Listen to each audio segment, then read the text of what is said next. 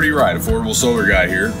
Got an exciting little project we're going to kind of give you the full tour of today. We've alluded at it on a couple other videos, but this is the company golf cart that we've been using for about 10 years now. And, uh, you know, originally we, just like everybody else, had to plug it in, you know, every other day, every three days.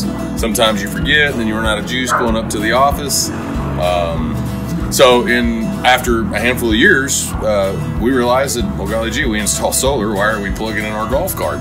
Uh, so this is a commercial 72 cell solar panel.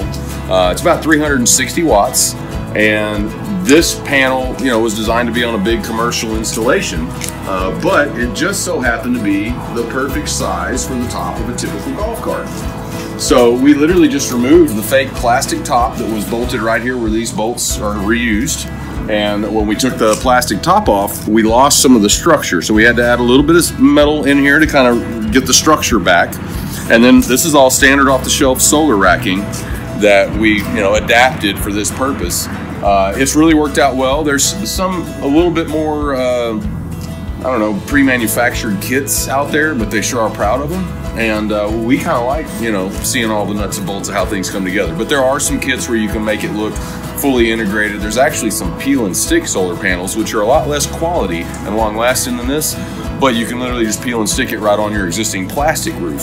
So there's a bunch of different ways that we can help you explore affordable solar options.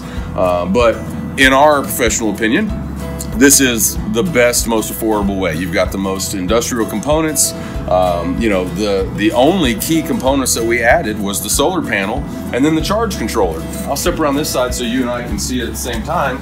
But basically, we went ahead and sprung for an American-made charge controller.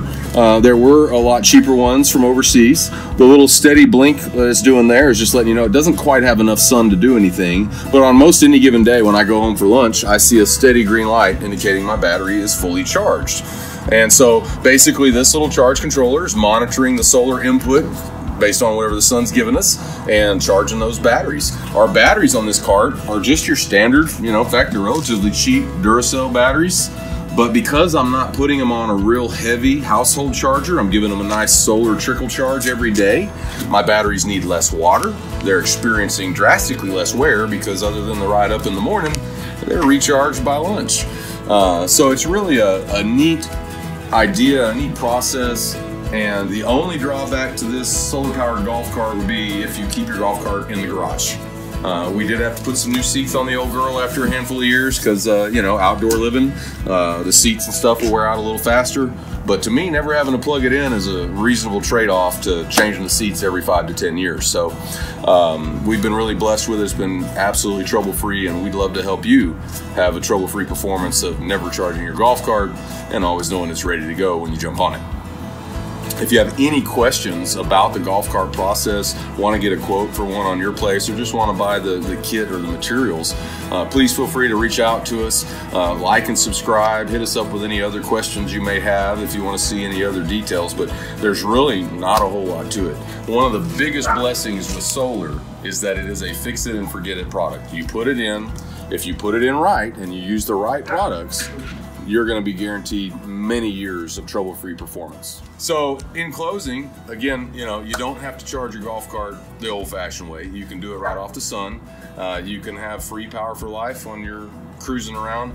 This wouldn't necessarily be the end all for golf courses because eventually you can't overdrive the sun. This 360 watt panel is not quite going to totally replace driving around full throttle all day, every day.